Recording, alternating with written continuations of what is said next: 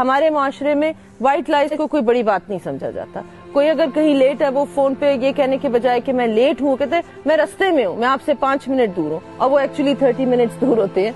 ये यहाँ पे बहुत एक्सेप्टेड चीज़ बन चुकी है कि झूठ पूरा माशरा बोलता है। अपनी ज़िंदगी में सच को प्रायोरिटी बनाए।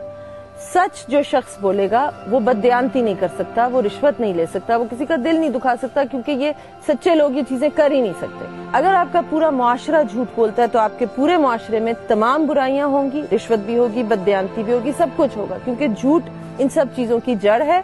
और आपके मुआशरे के अफराद की पर्सनैलिटीज आप देख लें, वो वीक होंगी, उनमें कॉन्फिडेंस नहीं होगा, उनमें सेल्फ स्टीम लो होगी, उनमें वो सारी बुराइयाँ होंगी, जो कि एक वीक पर्सनैलिटी में होती हैं।